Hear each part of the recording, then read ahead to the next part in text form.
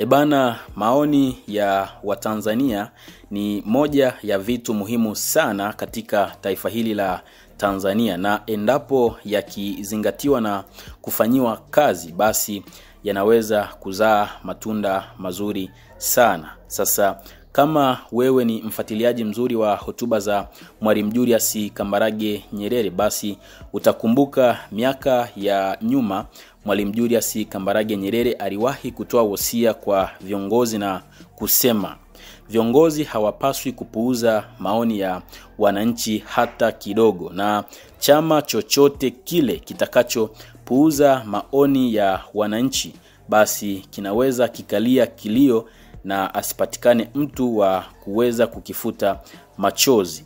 Hii ina maana gani?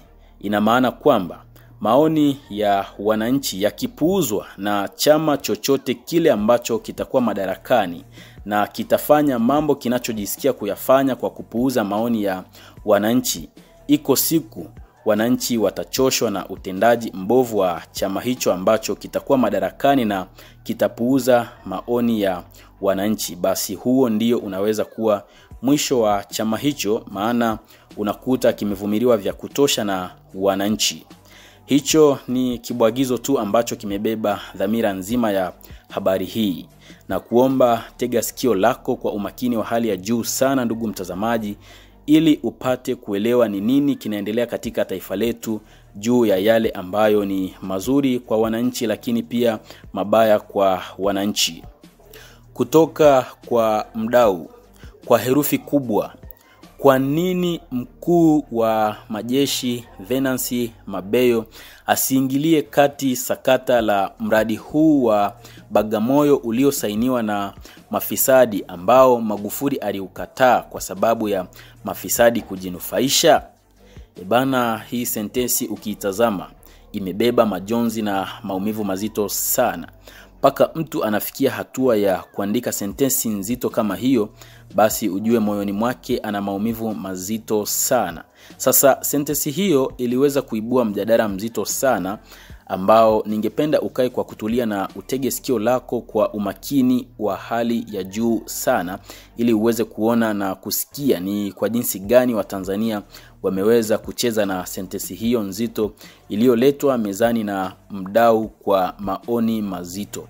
Naomba nikusomee maoni matano ya Watanzania juu ya sentesi hiyo nzito iliyoletwa mezani na mdau. Moja, kwanza, mkuu wa majeshi hawezi na haruhusiwi kabisa kuingilia vitu kama hivyo. Labda ambacho anatakiwa kukifanya mkuu wa majeshi ni kama alichokifanya Mamadi Dumbuya, mkuu wa majeshi wa nchini Guinea, kwa kumpindua rais aliyekuwa madarakani kwa sababu alienda kinyume na mategemeo ya wananchi. Mbili, hata mimi naona ni bora tu mkuu wa majeshi aingilie kati haya maswara, maana tumechoshwa na haya yanayoendelea katika taifa letu. Maana kila kukicha viongozi wanaibua mapya mazito badala ya kutatua changamoto za wananchi. Tatu, kama hayati John Joseph Pombe Magufuli alipinga, mimi ni nani nipinge kwa mkuu wa majeshi kuingilia na kureject ama kukataa masuala mazima ya mkataba wa mradi wa uwekezaji katika bandari ya Bagamoyo? Nne, tatizo ni kwamba kipo kikundi cha watu wachache sana nyuma ya serikali kinachoamua nini kifanyike, ambapo kikundi hicho ndicho kinachosababisha haya yote yatokee. Ila mi naona bora jeshi lichukue nchi. Tumechoka, tumechoka, tumechoka. Tano, hapo mkuu wa majeshi akiamua inawezekana, mbona na hakuna kitakachoshindikana. Hayo yalikuwa ni baadhi ya maoni ya Watanzania juu ya kile kilichosogezwa mezani na mdau. Sasa ni yapi maoni yako, ewe mwana Bisan Online Media? Unaweza ukatuachia hapo chini kwenye upande wa comment section juu ya hiki ambacho tumekusogezea siku hii ya leo kilicholetwa na mdau. Asante sana kwa muda wako na tukutane wakati mwingine.